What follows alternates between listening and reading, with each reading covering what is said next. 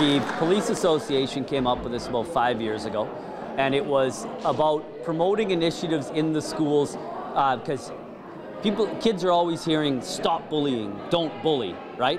And so, but kids don't really respond to that. This was more of a flip it and make them go on the offensive with here's some ideas about outward, outwardly going out and doing nice things for people or promoting inclusivity as opposed to scolding people. That's how it came to be. And then it, it honestly just exploded. The ideas are really good.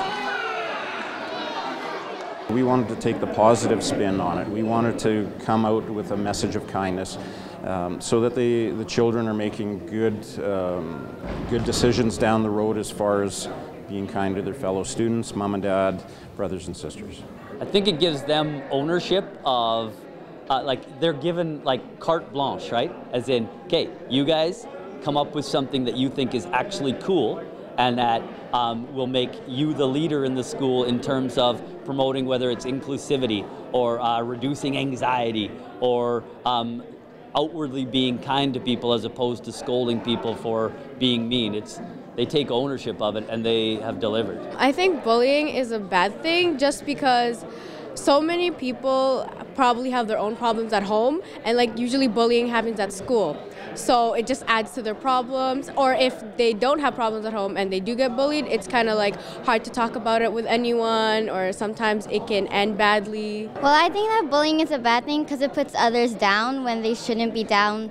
Everyone should be treated the same way like treat the golden rule which is treat others the way you want to be treated. And i believe that bullies shouldn't exist. Yeah. Kids that are being bullied it's i mean it's it's rough out there, and it gets worse as soon as they get phones.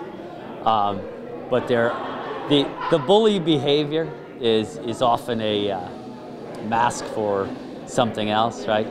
And if you go with taking the high road and being kind first, you will find that uh, that a lot of this stuff falls off and maybe you were the target simply because you were there, right? But it's there's usually a bigger issue to it. And uh, I mean, to say things will get better is not a cliche. It will most definitely get